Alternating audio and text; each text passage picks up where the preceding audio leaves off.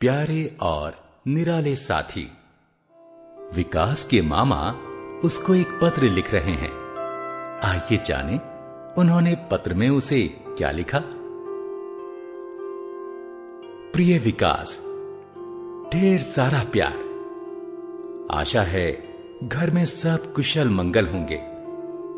पिछले पत्र में तुमने लिखा था कि घर में बंदर घुस आए थे और उन्होंने किस तरह फ्रिज खोलकर फल सब्ज़ियाँ खा ली थी।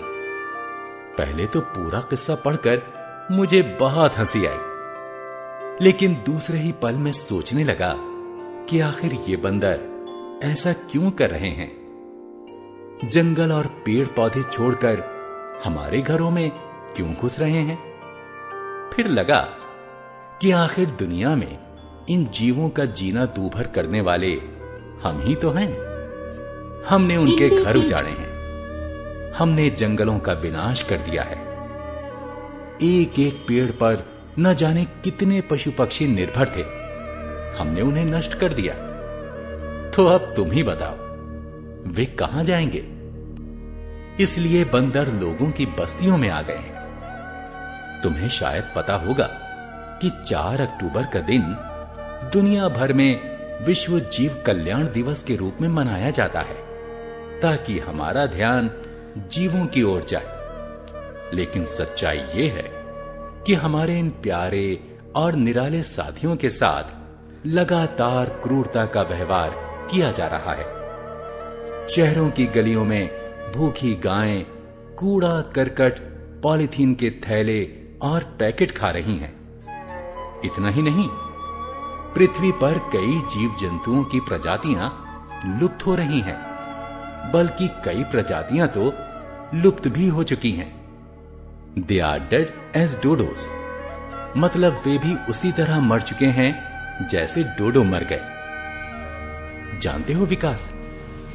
डोडो एक पक्षी था, कबूतरों का बिरादर, लेकिन बत्तख से भी बड़ा और भारी। उड़ नहीं सकता था। मॉरिशस और हिंद महासागर के तमाम अन्य द्वीपों में वे बहुत बड़ी संख्या में पाए जाते थे।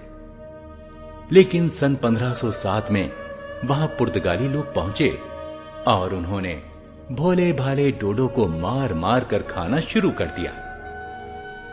कितने दुख की बात है कि सन सोलह में डोडो का नामो निशान इस दुनिया से मिट गया। आज तुम किताबों में केवल उसका चित्र ही देख सकते हो। इसी तरह हमारे देश में एक बहुत ही सुंदर प्राणी होता था, चीता। लेकिन मनुष्य जाति ने उसे भी नष्ट कर दिया। जानते हो क्यों? बस, शिकार खेलने के बरबर शौक के लिए, उसकी सुंदर खाल के लिए।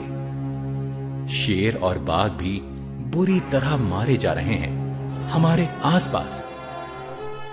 आज तमाम प्राणियों का जीवन संकट में है।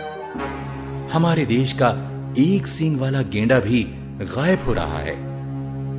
सिक्किम के जंगलों में रहने वाला गेंडा भी गायब हो रहा है।